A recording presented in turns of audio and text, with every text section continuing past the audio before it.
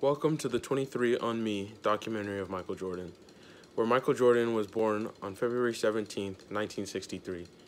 He was born to Deloris and James Jordan.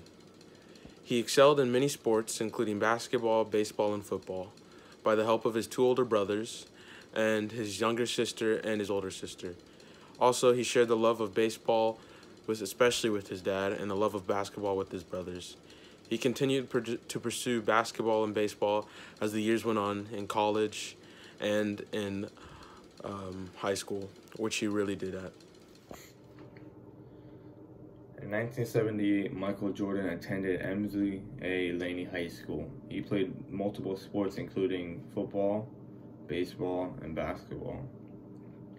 His sophomore year, he was marked at 5'10, and he was one of 50 kids trying to make the varsity team there's only 15 varsity spots, so he tried out to try to be one of them. That year, he didn't make the varsity team, and he had to play junior varsity. And the embarrassing moment he said he had was his friend was six seven and made the team, and he was really embarrassed about that. He didn't make it. That junior year, though, he went on to average 20 points a game and led the junior varsity team onto winning games. His junior year, during summer, he had a lot of motivation he had a lot of motivation because last year he make the team. That year he averaged over 20 points a game also and kept working because he had nothing to lose. He grew four inches that summer and was able to start dunking and all that. His senior year, he averaged a triple double and led his team to a 19 4 record season. He was uh, named All American, uh, McDonald's All American in 1981, Michael Jordan attended the University of North Carolina. He was there for three years on a full ride scholarship and was able to dominate throughout the whole college career. In 1982, he played a big role with winning the Division One championship against the Georgetown University. He played a big role throughout the whole thing.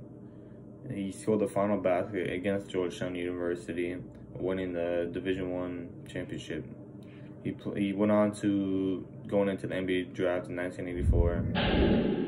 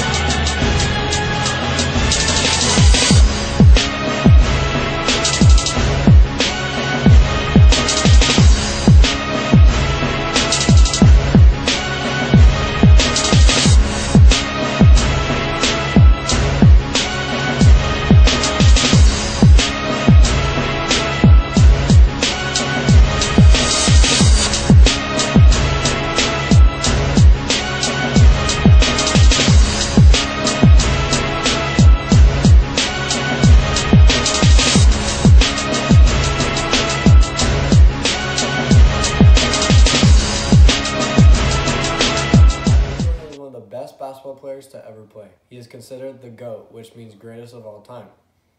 Jordan was drafted as the third pick in the 1984 draft to the Chicago Bulls.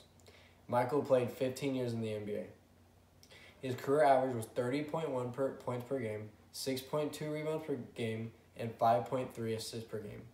Over those 15 years of professional basketball, Jordan made it clear that he should be considered the best.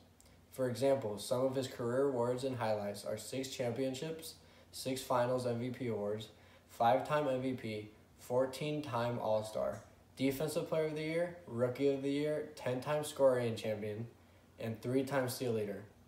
He also won two gold medals with Team USA. Those are only some of his accolades and highlights. In the 1990-91 season was the start of the Chicago Bulls' first three-peat. Jordan and Bull and the Bulls won three championships in a row throughout 1991 and 1993. In 1993, after they completed their first three-peat, Jordan retired. He went to play baseball for the minor leagues, but that didn't last very long because he came back to the NBA in 1995. The year he came back, he took the Bulls back to the championship and they did a second three-peat, winning three championships throughout 1995 and 1998. Michael Jordan retired again in 1999. He became part owner of the Washington Wizards on January 19, 2000. Michael then came out of retirement again and played on the Wizards team in 2001. He didn't do much in the in Washington and he retired in 2003. Jordan had his number retired for the North Carolina Tar Heels, which was his college, the Chicago Bulls, and even the Miami Heat because the owner thought that he had such an impact and he wanted to honor Jordan's achievements in the game of basketball. Jordan's biggest problem was throughout his career was that he had a gambling problem. He never got himself or his family in trouble, but it was still a problem for him. Michael Jordan had so many accolades and achievements, and he did so much for the league, and that is why he is considered one of the best players to ever play in the NBA.